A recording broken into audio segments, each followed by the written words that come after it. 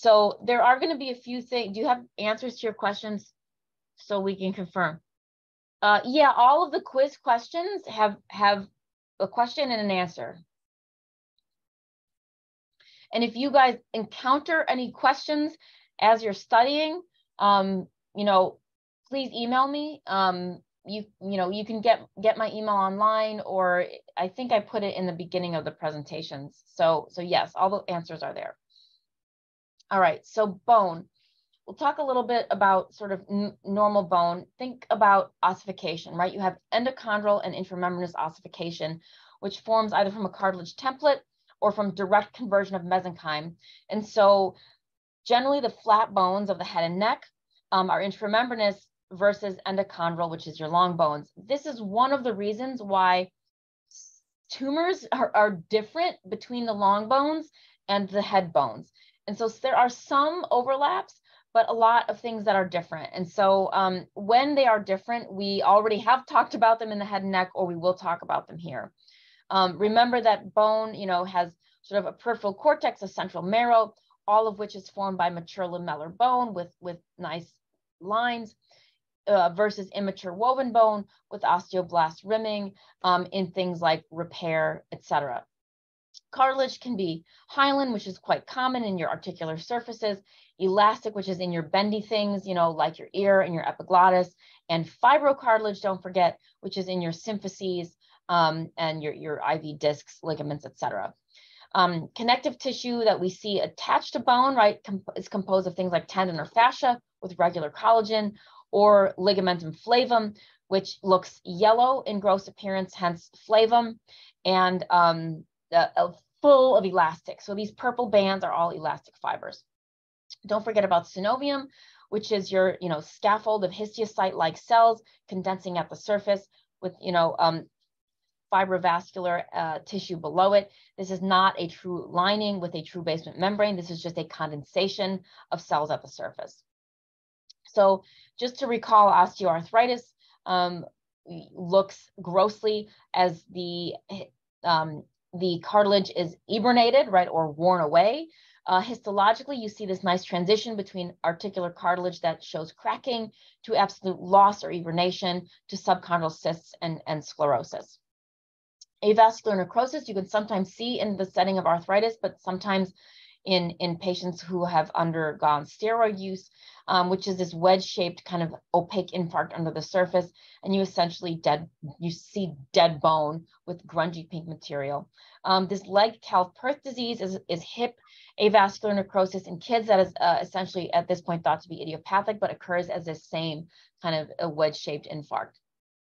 Rheumatoid arthritis um, is, is proliferation of synovium and, and, and, inflammatory cells over the surface um, of the articular joint um, called a pannus. Um, you often tend to see rich in lymphocytes and plasma cells um, in rheumatoid arthritis. And in the soft tissue lecture, we'll see peripheral rheumatoid nodules of soft tissue. Um, I just want to remember fracture callus. if you don't think about it, you won't make the diagnosis, but it is this very characteristic kind of conglomerate of, of, of vascular fibrous tissue, of cellular cartilage, and of woven bone with osteoblast rimming that can be really scary looking and almost mimic a neoplasm because it's so richly cellular.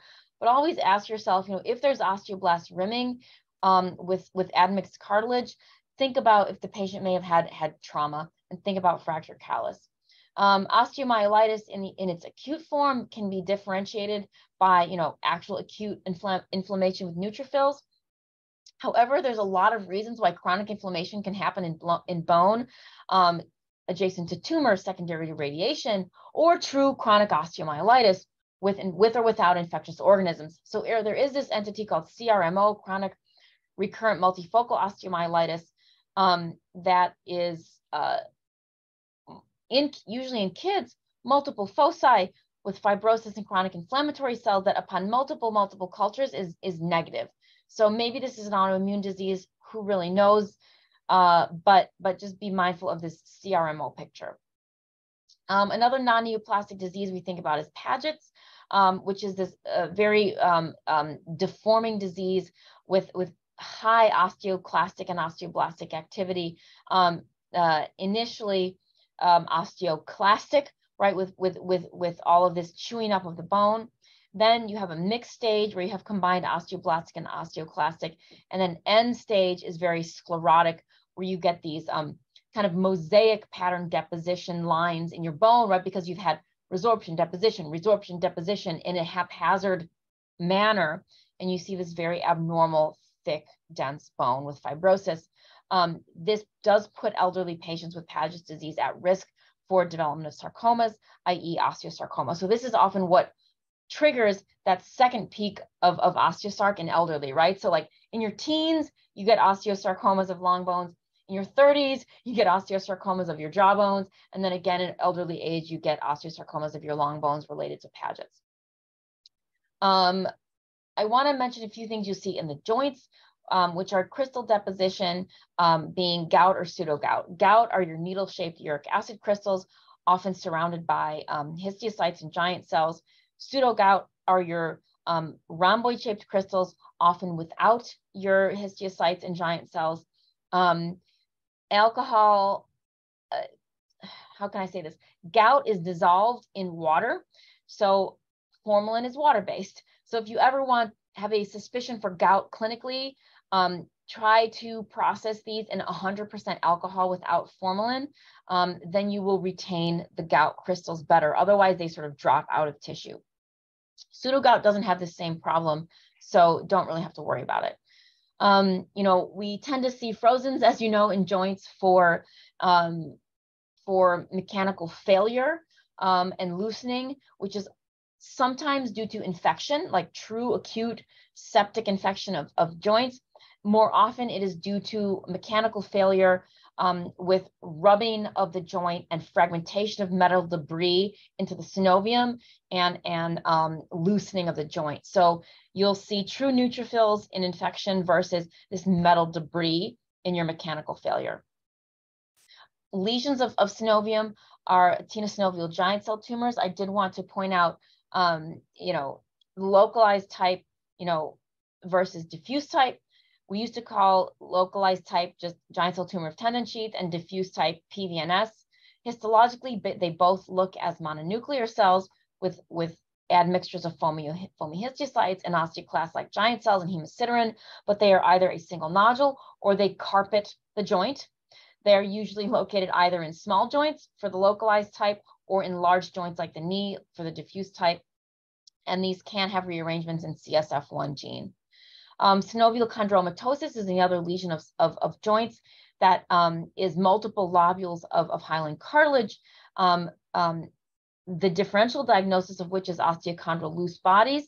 Um, however, in synovial chondromatosis, we now know that these are often related to rearrangements in FN1 gene. This is a new emerging entity of FN1 related um, neoplasia. So just to keep that in mind.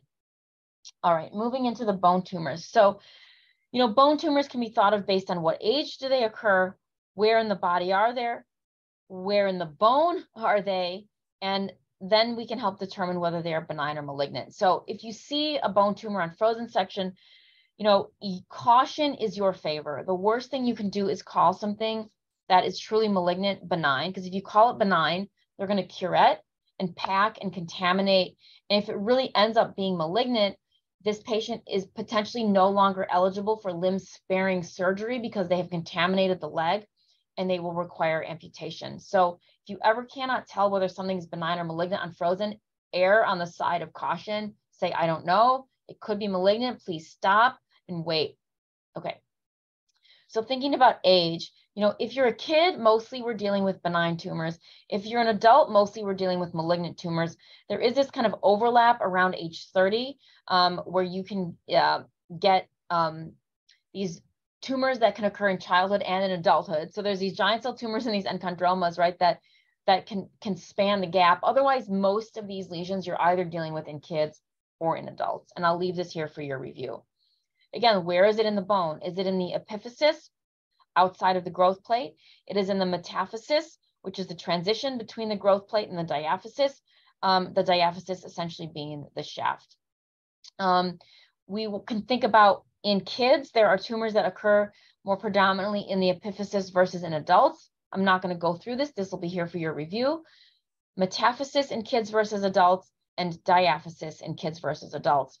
Now here we have the whole body, right? Where do these things occur in the body? Use, use this diagram as the most common site for each tumor, but of course they can occur in, in various other places. So we'll go through now differential diagnoses um, with some discussion of, of, of, of genetics and location. So cartilaginous tumors that happen at the surface of bone include uh, most commonly this, right? Cauliflower-like stalk with marrow continuity of the underlying bone, um, in which measurement of the cartilaginous cap um, is, is what the clinicians want to know. Once that cartilaginous cap becomes really thick and voluminous and proliferative, now we are dealing with, right? Um, uh, on the left, osteochondroma, and on the right, chondrosarcoma arising out of an osteochondroma. Um, most common primary tumor of bones. This happens really only in endochondrally ossified bones, um, in which the growth plate is thought to have some aberrancy that creates this stalk. Um, remember, multiple hereditary exostosis patients have increased risk of sarcoma development off of these. Um, you'll tend to see a nice eh, organized arrangement of fibrous tissue, hyaline cartilage, and then bone. Um, secondary chondrosarcoma tends to grow outward rather than inward. So the, hence that cauliflower-like proliferation um, on the surface is what you start to be worrying about for chondrosarc. So you're kind of, if, if you want to remember anything about all of these bone tumors, I've put a little box, right, in each of these slides for what the most important kind of things to remember are. Um, BPOP or bizarre parosteal osteochondromatous proliferation um, tends to be these small, uh, small digits, occasionally subungual. Um, these are um, proliferations of disorganized hyaline cartilage, bone, and spindle cells that do not retain this nice organization of, of an osteochondroma, but are much more disorganized and in the small bones. Um, periosteal chondromas versus periosteal or juxtacortical chondrosarcomas are essentially defined by do they, you know, invade the underlying uh, marrow cavity? So chondromas can can sort of buttress, right, the and, and sort of um, saucerize the cortex, right, but not infiltrate. Um, so in a lot of cartilaginous neoplasms, whether they be chondromas on the surface or enchondromas in the marrow, definitionally is do they percolate in an infiltrative manner and surround pre-existing lamellar bone. If not, if they just push, they're benign. Um, and here we now dive into the marrow. So as I was saying, enchondromas of marrow, tend, they can be in the small bones or the longer bones. They can be associated with various syndromes as listed here. Um, they tend to have um, stippled calcifications on x-ray, which is ossification of the periphery of the cartilaginous lobules um, without entrapment or encasement of bone. Both enchondromas and um, chondrosarcomas of marrow can have IDH1, IDH2 mutation. So this is not diagnostic of benign versus malignant, but it is diagnostic of a primary cartilaginous proliferation. As you can see here in this case, this cartilaginous proliferation has grown throughout the bone. It's bowing the surface, it's infiltrating the marrow cavity. So this is now chondrosarcoma. Um, you can see it entraps the pre-existing lamellar bone. It can be of various histologic grade from low to intermediate to high. Um, and it can undergo dedifferentiation, right? So hyaline and myxoid cartilage with entrapment of bone. Grade can be low, paucicellular, intermediate, moderately cellular, high, hypercellular with nuclear pleomorphism, and then D. diff. So D. diff usually arises as a high-grade spindle cell sarcoma adjacent to a grade one or grade two chondrosarc, mostly because cartilage is hypovascular. Um, these are treated primarily with resection because chemoradial chemotherapy isn't going to touch these very well because of their poor vascular status. Clear cell chondrosarc tends to be in the epiphysis of long bones of adults with this lobulated proliferation of hyaline cartilage islands and then morphologically clear cells um, uh, and uh, in adults versus mesenchymal chondrosarc, which is again this biphasic appearance of hyaline cartilage, but with